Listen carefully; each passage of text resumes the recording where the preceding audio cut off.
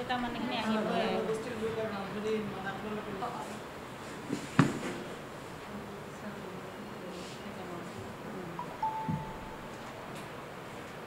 আঠ হাজাৰ ৰান্ধনি এই আঁচনিত জড়িত আছে আৰু দুই হাজাৰ দুই হাজাৰ পাঁচ চনৰ পৰা জড়িত থকা এই ৰন্ধন কৰ্মচাৰীসকলৰ মাননি মাত্ৰ এক হাজাৰ টকা চৰকাৰে দিছিলে আৰু ৰাজ্যিক চৰকাৰে দিছিলে পাঁচশ টকা দুই হাজাৰ একৈছত কিন্তু ই এক হাজাৰ এক হাজাৰৰ পাঁচশ টকা মিলাই পেলাই পোন্ধৰশ টকা প্ৰতি মাহে দিয়াৰ কথা এটা চৰকাৰে সিদ্ধান্ত লৈছিলে।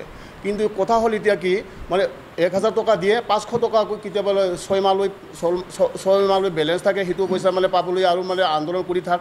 তেনেকৈ এটা সমস্যা হৈছে আৰু বিভিন্ন ধৰণৰ আন্দোলনৰ ক্ষেত্ৰত আমি বিশেষ বিশেষভাৱে দাবী কৰিছোঁ কি আমাৰ মাননিটো বৃদ্ধি হ'ব লাগে। কমে পাঁচ হাজাৰ টকা। আমি বেছিও কৰা নাই পাঁচ হাজাৰ টকালৈ বৃদ্ধি কৰিব লাগে এইখিনি আমাৰ মানে প্ৰত্যেক প্ৰত্যেক মানে বিধানসভা অধিৱেশনৰ সময়তে এইটো আন্দোলন আমাৰ হয় আৰু এই বিধানসভা চলি থকাৰ সময়তে অহা বাইছ তাৰিখে যিটো বিধানসভা চলিব চলিত বিধানসভাৰ প্ৰথম দিনাখনে চচলত এটা আন্দোলন ধৰ্ণা কাৰ্যসূচী আমি ৰাখিছোঁ। গতিকে আমাৰ মেইন দাবীকেইটাই হ'ল যিটো আজি ঊনৈছ বছৰ দুই হাজাৰ পাঁচ চনৰ পৰা আজি ঊনৈছ বছৰ চলি চলি আছে কিন্তু মাত্ৰ দুই হাজাৰ একৈছত মাত্ৰ ইহঁতে বৃদ্ধি কৰিছে মাত্ৰ পাঁচশ টকা। অতি অতি পৰিতাপৰ বিষয় যে আজি মূল্যবৃদ্ধিৰ সময়ছোৱাত এই পোন্ধৰশ টকাৰে মাননি দি চলিব নোৱাৰে। সেইকাৰণে আমি চৰকাৰক একদম বিৰোধিতা কৰিছোঁ যে চৰকাৰৰ লগত আমি এইটো দাবী কৰিছোঁ যে মাননিটো অতি সোনকালে বৃদ্ধি কৰিব লাগে অন্যথা জংগী আন্দোলন তীব্ৰতৰ হৈয়ে হৈয়ে থাকিব আমাৰ। আৰু এইখিনিৰ কাৰণে আমি মানে বাৰে বাৰে চৰকাৰক মানে দাবী এটা জনাইছোঁ। গতিকে আজি যাতে আমি যেনেকৈ পাইছোঁ তেনেকৈ যাতে গোটেই এই চেনেলৰ যোগেদি যাতে আমাৰ ৰান্ধনি কৰ্মচাৰীবিলাকে সকলোৱে যাতে জানে জাগি উঠে সেইটো কাৰণে মই অনুৰোধ কৰিছোঁ আপোনালোকে যাতে প্ৰচাৰখন ধুনীয়াকৈ চলাই যায়। গতিকে আমাৰ এনেকুৱা এটা দুৰ্ভাগ্য আমি যিহেতু নেকি আজি ইমান দিনৰ পৰা ধৰি আমি কাম কাজ কৰি আহি আছোঁ ল'ৰা ছোৱালী আমি পৰিপালন দি আহি আছোঁ ইমান আমাৰ নিজৰ ঘৰৰ কাম বন ক্ষতি কৰি আমি স্কুলৰ ল'ৰা ছোৱালী ধুনীয়াকৈ আমি ৰান্ধি বাঢ়ি খুৱাই আছোঁ। তাৰ ভিতৰতো আজিলৈকে আমাক দৰমহা পাতি বুলি কোৱা কথাটো আমালৈকে উঠি অহা নাই। এটা এটাৰে মানে অনুৰোধ মই চৰকাৰলৈকে কৈছোঁ। চৰকাৰে আমাক বাৰে বাৰে কৈয়ে থাকে যে আপোনালোকৰ হেৰি দৰমহা বৃদ্ধিটো আমি কৰাই দিম।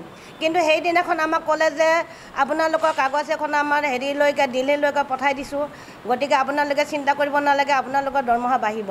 কিন্তু আমি জুন জুলাই মাহত আমি খবৰ ল'ব আহিলোঁ। অহাৰ পিছত ক'লে যে আপোনালোকৰ হেৰিটো মই খবৰ ল'ব পৰা নাই। গতিকে মই এতিয়া মই খবৰ লওঁ খবৰ ল'লে খবৰ লোৱাৰ পিছতে ক'লে যে হেৰি কাগজখন ঘূৰি আহিছে ঘূৰি অহাৰ পিছত এতিয়া অসম চৰকাৰৰ হাতত আছে বুলি কৈছে।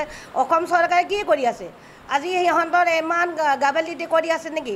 আমাৰ যে ৰান্ধনীবিলাকে আজি ইমান যুগ যুগ ধৰি যে আমি ৰান্ধনীবিলাকে কষ্ট কৰি আছোঁ তাৰ চকুত দেখা নাই নেকি? আজি যে আমি ইমান দিনৰ পৰা আমাৰ ল'ৰা ছোৱালীক ডাঙৰ দীঘল হৈ আমি এম এ বি এ পাছ কৰি আমাৰ কিছুমান ল'ৰা ছোৱালীয়ে আমাৰ কা- কৰ্মচাৰী কৰ্মস্থাপন ল'ব লগা হৈ গ'ল। তথাপিতো আমি কষ্ট কৰিয়ে আছোঁ। কিয়নো আমি এটা প্ৰাপ্য ধন আছে দেখি আমি কাম কৰিব লগা আছে আমি কাম কৰি গৈ আছোঁ। কিন্তু তাৰ ভিতৰত যদি সিহঁতে যদি আমালৈকে অলপমান চকু মেলি নাচায় তেতিয়া কি হ'ব? সেই চৰকাৰখনে যে এটা সময়ত হেমন্ত বিশ্ব শৰ্মাৰে সেই কংগ্ৰেছ চৰকাৰ সময়তে তেখেতে এই আঁচনিটোৰ সময়ত তেখেতেও যোৱা হেৰি জড়িত আছিলে। কিন্তু আজি তাৰ সময়ত কিয় তেখেতে ল'বলগীয়া নহ'ল?